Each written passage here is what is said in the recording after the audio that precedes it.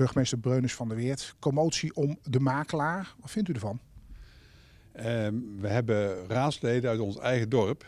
En dat betekent dat ieder raadslid van tijd tot tijd wat te maken heeft met uh, wat lijkt op belangenverstrengeling. Je hebt altijd wel eens ergens een onderwerp wat in de raad aan de orde is, waar je een persoonlijk belang bij hebt.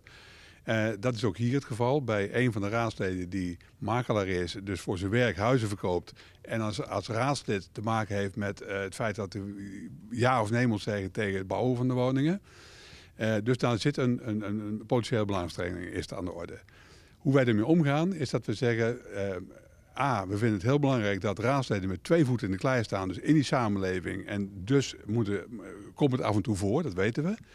We hebben met elkaar over gesproken en afgesproken. Als het aan de orde is, melden we bij de burgemeester. En ik maak dat transparant door in de raad daar aandacht, aandacht aan te geven. En de praktijk is dat wij het zo oplossen dat een raadslid wat daarmee geconfronteerd wordt, doet niet mee in de fractievergadering, doet niet mee in de commissievergadering en doet niet mee in de raadsvergadering bij dat agendapunt.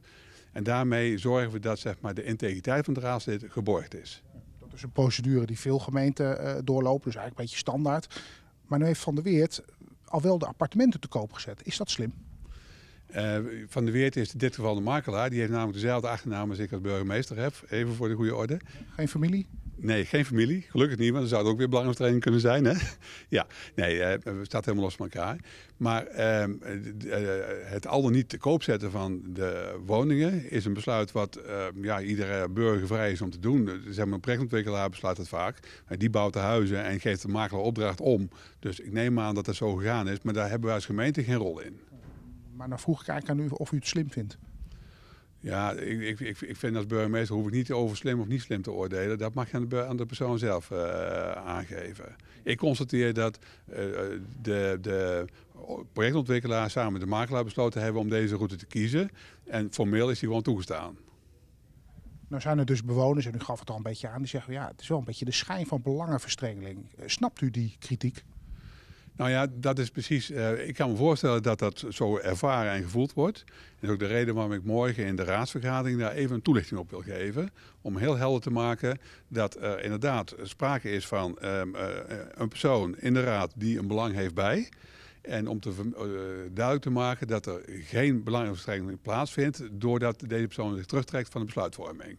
En daarmee is de integriteit geborgd. Nou zeggen heel veel burgers van ja, de afstand tussen politiek en burgers wordt zo groot en we vertrouwen ze allemaal niet meer in Den Haag. Dit soort kwesties zorgt er wel voor dat de afstand misschien ook wat groter wordt. Ja, er zitten twee kanten aan de medaille. Uh, ik merk dat er in het land uh, steeds uh, kritisch naar dit soort situaties gekeken worden. Maar als je dat heel erg ver wil doorvoeren, zou je in straks met raadsleden van buiten de gemeente moeten gaan werken. En dat willen we toch gewoon met z'n allen niet. Ik vind het heel belangrijk dat raadsleden onderdeel van die samenleving uitmaken, zodat ook van de samenleving gevoed worden. En ja, dat betekent dat je soms met belangenverstrengeling te maken hebt. En dat betekent dat je daar goede, heldere afspraken over moet hebben, hoe je daarmee omgaat. En dat hebben wij hier voor elkaar.